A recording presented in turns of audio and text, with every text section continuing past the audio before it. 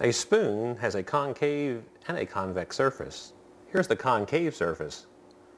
The reflections are not that clear because the spoon is not that polished. Let's turn over now to the other side to see the convex surface.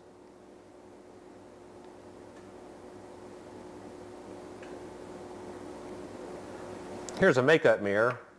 Works on the same principle. One side is concave, slightly, where you can see a magnification of objects that are very, very close to the mirror. The other side is convex, given the wide angle view. So the makeup mirror is basically the same structure as the spoon. But now we have a very polished surface.